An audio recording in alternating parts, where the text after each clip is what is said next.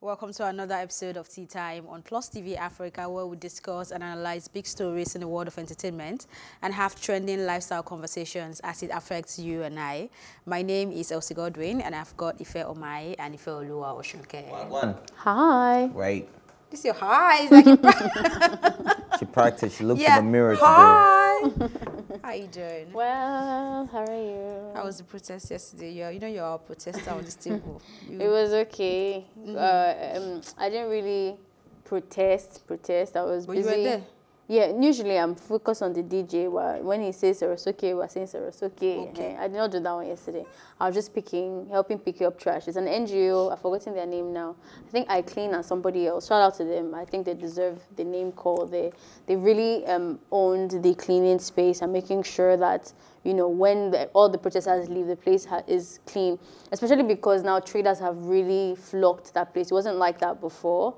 Um, so now there's a lot of trading and buying and selling of food and sachets and all that. So as you are picking, there's more dirt. As you're picking, there's more dirt. So you don't really have more than enough hands to pick. If there are traders there now, don't you think it will now be necessary for them to also mandate the traders to kind of Help take care of their pick own trash as well. Yeah, absolutely. I have to agree to that. Alright, so so when I- it was very, it was very um, intense. So I did a lot of, of picking, and Mm. then after that, I got tired and I went home. When I saw that yesterday as well, I saw that um, a lot of the traders are being made to stay at a particular point. So whatever you're going to buy, you're buying it there. If you want to liter it there, you liter it there and stuff like that. So they're beginning to control the traders as well. And I see that as a very good and welcome development because you see them coming into the crowd with their fish, with their crayfish and all those things and they're walking into the crowd. But right now you see the security, the private security telling them, oh, you need to stay on the side of the... I don't think all of them are, are paying um, um, attention to that because there's still some people who are hawking their products in between course, the of crowd. course. We'll and still have even the with the- shawarma guy, I mean, what was he selling? He was farther away from because you know most of them are on the um, the middle of the both highways. There's like a middle ground. It's not really a pedestrian crossing, but that's why all the all those people have lined up to sit down. There's still some people that are quite in front as well. Of course, But but see- most of the time you see most of them sneaking Most of them, there, yeah. and then when you when the security find fish them out, they tell them, "Hey, go back, go Mm. back, go back." So it's not like, of course, we have people that will break the rules, but at least the rule is there. That's the most important. It's also thing. interesting to know how much the Lagos State government um, has lost so far Mm-hmm. from the toll gates being blocked.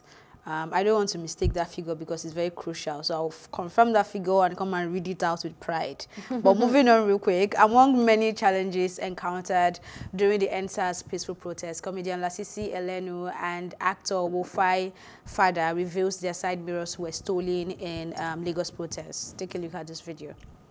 Hello guys, so I want to share with you what happened to me yesterday when I went out to protest. I'm like I'm I'm so angry right now.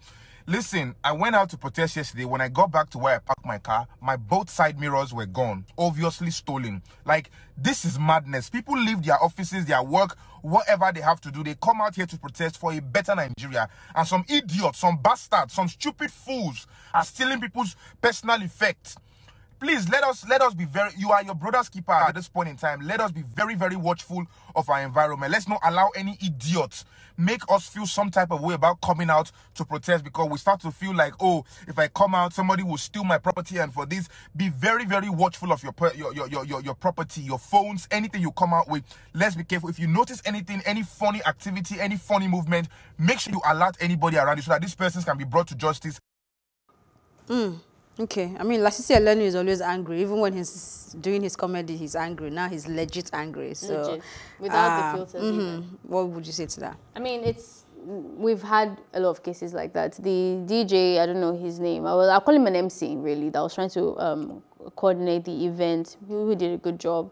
Um, he even mentioned that we need to be more careful that people are beginning to pickpocket and um, you know do other things. When the when the protest first started, um, when I went there, there was not that many people there, and it wasn't a trading site. It was strictly business. People who went there went there to protest.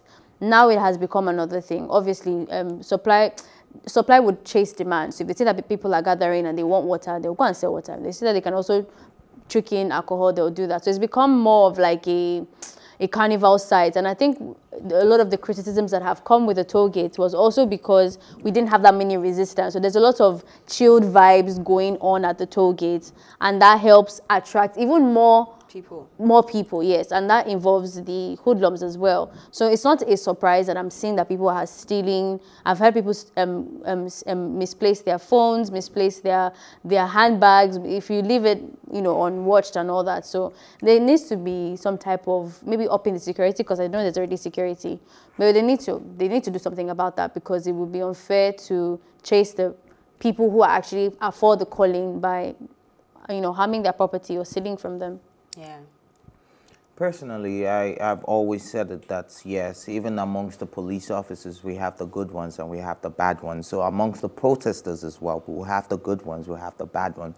We'll have the ones that are actually there to fight for a good cause, and we'll have the ones who are actually there to make sure that they are fed. They put food on their table. They're go there for their own personal interest, for their own selfish interest. And um, yes, we'll have the robbers there. We'll have the thieves. We'll have the the pickpockets. We'll have the people selling marijuana. We'll have the people selling alcohol. We'll have the people selling several illicit drugs that people would definitely not see on the streets on a normal day. You have to go to some places, but they're there. They're making sales, and um, this doesn't stop us from standing for justice. Yes, they're, they're in ev- even in the police. We are not saying all of you are bad. We are still saying there's some bad eggs, and yeah, so this is going to happen as long as um, there's a crowd. This would definitely happen because we have to sieve the wheat from the shaft, and then the shaft will definitely be there, and the wheat will definitely be there. So if people are beginning to steal cars, steal side mirrors, steal other um, personal items, it's not it's not beyond the ordinary, but it still boils down to the fact that the security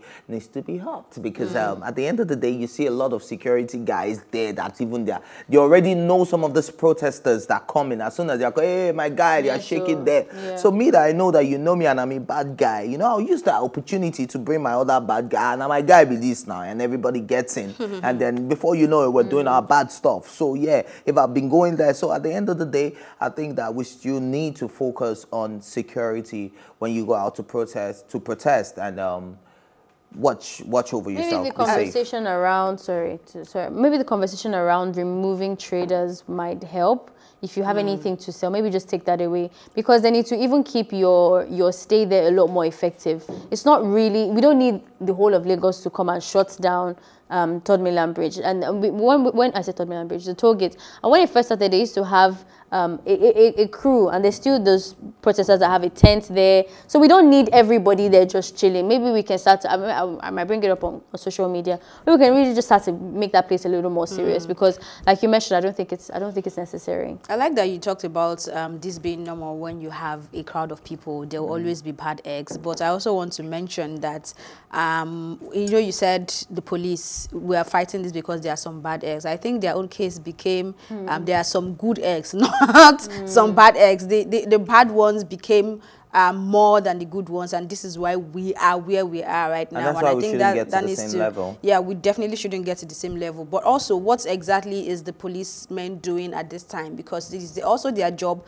to actually provide. Forget about the fact that we are providing security for ourselves. security, They are actually supposed to provide security for the protesters there. I mean, we did not say. They were there before. So why did they leave? What what what is Obviously, they're, going they're scared for their lives as well. Nobody, no, no, no, no, no, nobody no, was no. I'm, harassing I'm them. trying to, I'm trying to get somewhere with this, so it's not, it's not a battle. I'm just trying to say that look, they, they are scared for their lives. I, I don't know if you guys saw the video of the um, traffic warden, who, who, traffic warden, who was just there, and then some guys were coming towards him, and he was about to run, and they stopped him. I'm like, no, no, we appreciate the work you guys are doing, and Yeah, I saw that video, food, but they can't be gave him scared of their lives because they gave him- nobody has actually tried to attack them. No one has- no- you not a been single- screaming not a and single- police There. brutality, and then you're seeing a lot of angry youth. If I'm a police officer myself, I'll be very If wary. you're just unless excusing I what have, is not excusable I'm not because it's they are supposed all to be there. Nobody It's is not- it's- attacking it's, policemen It's not a right reality now. for so I them, don't except know. they've seen one case where this has happened to them for for them to say that that's a reality. But every time I've seen them on the stage, we've literally been friends with. I remember um, um what's it called, Lekki toll gates. There were security, there were police people that parked their cars to help us block that road. And when I because I got there late, when we were driving in, they were like SARS people, SARS people, and we're like, no, why we SARS? It's uh, in SARS. Oh yeah, be going, be going. The police people were there. We've never ever for one day ever said that we're going to attack these people. Yeah. We have an intention to do that. If anything, we actually encourage a lot of dialogue between between them. And they know this because if, if somebody was hurt they will all have heard about it. So it's not like as if no that reality can be legit that they're afraid of that. They're just not interested in being there for too long. Not as much as we are anyway. Yeah. Okay, moving on to the next story. Nigerian journalist Kiki Mordi has accused Oladapo Daniel Oyebanjo, popularly known as D'banj, um, of constantly emotionally blackmailing Nigerians with the death of his child. This remark came after, in a bid to lend um, his voice to the SARS brutality, D'banj expressed the feeling of one losing a child. He tweeted, and I quote, I know what it means to be in pain, to lose a child and a loved one. So I know the pain my brothers and sisters are going through, and my heart is heavy. I pray God grant us the healing and restoration we so deeply need in our country, and that our light can once again shine. End of quotes. To which Kiki responds, uh, responded, saying, quote, every day you use your child to emotionally blackmail Nigerians. You are very scary. End of quotes. if do you want to go first? No, I want you guys to go. Um, this is something that, personally speaking, I would think, but I would not tweet because I just I, I- Still insensitive. It's it's still insensitive, but I'm not gonna say that what she's thinking. I do not think it. I just would not tweet it. That's the only difference. Um, and if she wants to tweet it, she can go ahead and do that. And she's done I- that. She has. Um, I think if you put into context um, um, if you take away context, you might really see it as out of place and all of that. But once you start putting context, D'banj history, what we're still dealing with with him, and the way he used his child in the first issue that we were being that we were dragging him for, um, if you put that into context, then it makes a lot of sense. Still, I still think that nothing would have spoiled if she just ignored it. Because when I saw it, I'm like, how does this have anything to do with a child, uh, your child um, passing away through a domestic, um, what's the word? Accident. Yeah, domestic accident. It's not the same thing. Mm-hmm. But There's it's a lot loss. Of, A loss it, is it, a it- it loss. is a lot of. It is a lot of. Like I said, put into context. Yeah, Okay? okay. If we're having this conversation about anybody else, there's no place and time for what she has said. We're talking about context now, so you don't get Yeah. um, um, um, put it out because if you put it into context, Mm. there is a lot of other people that did not have D'banj's history that have lost their children and they didn't bring it up. Mm. There's quite a lot because even this conversation, there was a thread of of, of um, a lady that I can't remember the, the um, musicians now that have lost their children and they didn't, and they've talked about SARS and they did not bring, it, up. it up. So if you put that into context, then it is a, a bit offensive. But like I said, this is just something that me personally, oh, if fair, I would just have let it go and not even like send him. But she, she for me, she didn't say anything that was, you know, outrightly Out wrong. Yeah, Yes, but just really insensitive. I'd like you to go before I go. No, no, no. I mean, I, I agree with what she's saying, basically. If if this wasn't D'banj in question, then maybe it would feel really insensitive because I already said it, it's kind of felt insensitive because a loss is a loss.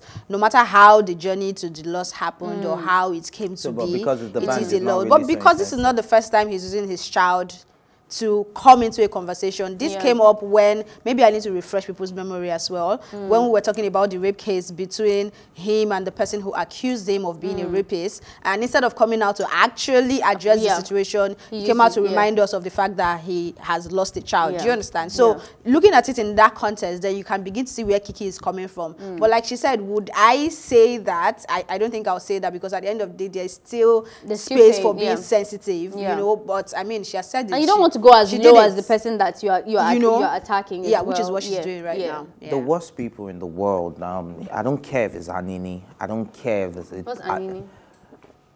okay, he used to be a very notorious rapper in Nigeria. okay. Right. Anini, um, Shina Rambo, and the Mm, likes.